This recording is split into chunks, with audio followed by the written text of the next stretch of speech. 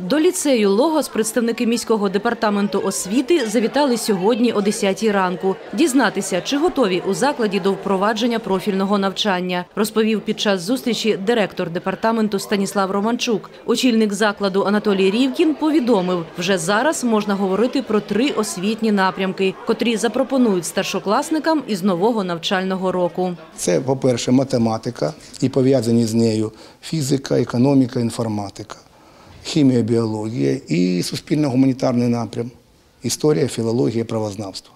Ми маємо е, висококваліфікований склад вчителів. У нас достатньо добра матеріальна база.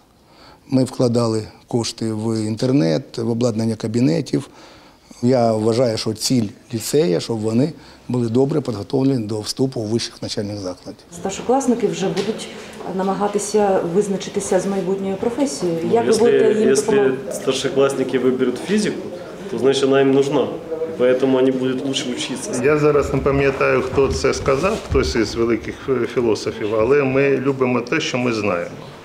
Тобто, да, ну, можете спорювати, але це дуже слушне зауваження. Тому якщо я знаю фізику, то я її люблю. Старшокласників прийматимуть у ліцей на конкурсній основі. Втім, його умови не будуть суворими, підкреслив директор закладу. Дитина має знати не більше, ніж визначено програмою 9 класу, не більше.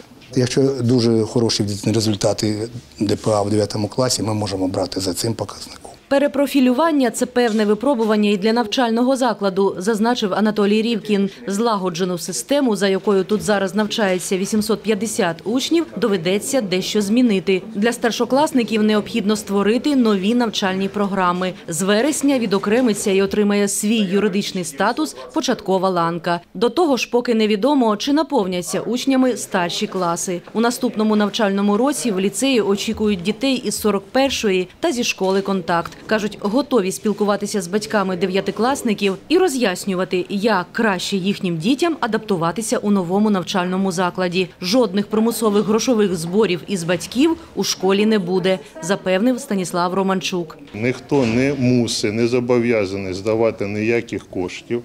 Це тільки рішення самих батьків допомогти тому чи іншому освітньому закладу, але не примусово, тільки за згодою, за бажанням, не за згодою, а за бажанням самих батьків.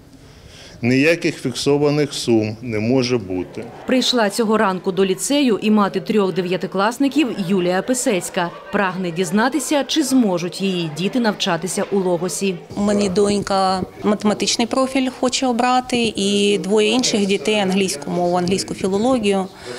І ліцей відповідає, логос відповідає цим умовам. Нагадаємо, закон про реформування середньої освіти в Україні був ухвалений 28 вересня 2017 року. Ним передбачений розподіл шкіл на три типи: початкову ланку, гімназії та профільні ліцеї. Цей процес триває протягом п'яти років і має завершитися у вересні 2022-го. За словами Станіслава Романчука, у Запоріжжі вже повністю створені початкові та середні ланки. З наступного року у місті планується створити 28 ліцеїв нового зразку, по чотири у кожному районі міста. Не можна казати, що ми дітей залишаємо без освіти.